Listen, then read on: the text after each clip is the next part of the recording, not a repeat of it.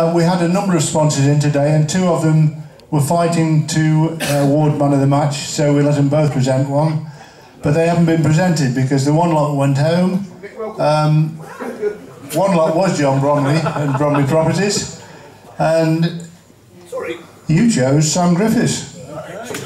Sam Griffiths, man of the match today for the Bromley Group.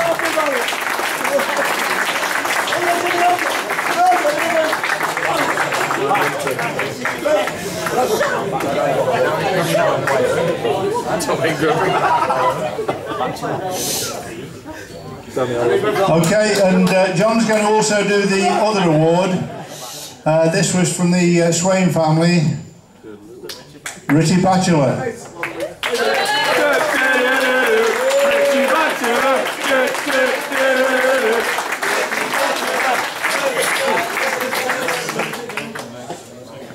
Sweet white wine. Can you stand up? Thanks.